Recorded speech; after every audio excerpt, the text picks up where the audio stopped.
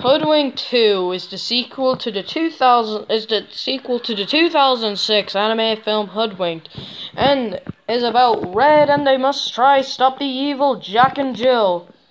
Oh my lord, this movie is just so goddamn horrible. Oh my lord. This movie is so bad.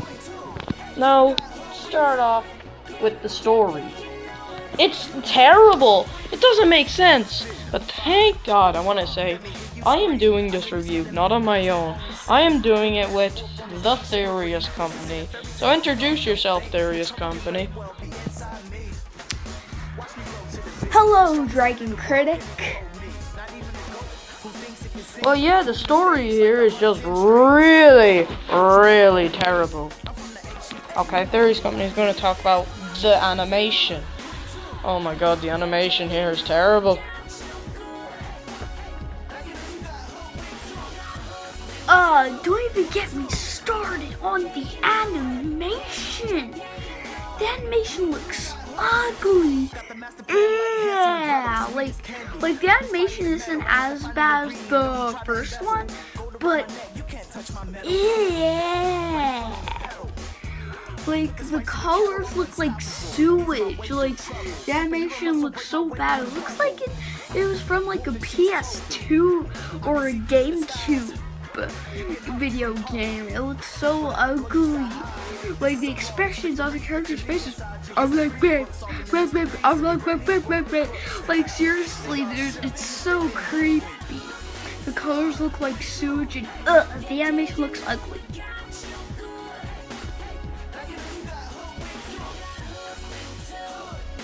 For me, all of these characters are ruined. The fox, Red, everything, all of them. They're just trash. It's like as if the movie didn't even care and doesn't even want to develop them. Now the first film is like one of those movies that you just get a good. You go, oh, that was really good. I thought I really liked it. It was decent. It's one of those movies that you find enjoyable.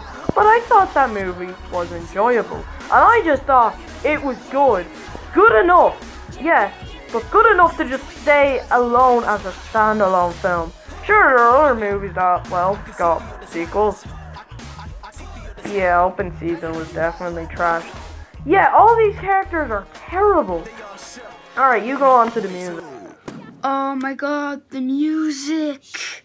The music is so bad. Yeah, it is so bad. Like the music sounds like it's trying to parody like Mission Impossible or something. And even like the songs are bad. Like I'm going to give Hoodwink 2 the seal of rubbish and a 1 out of 10. Guys, don't see this movie. It's horrible. And I'm going to say, skadoosh everybody. Hope you all have fun. So, skadoosh. Theorist Company, what do you have to say?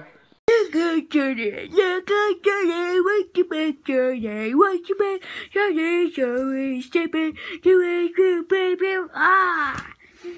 I freaking hate this movie. I hate this movie so much.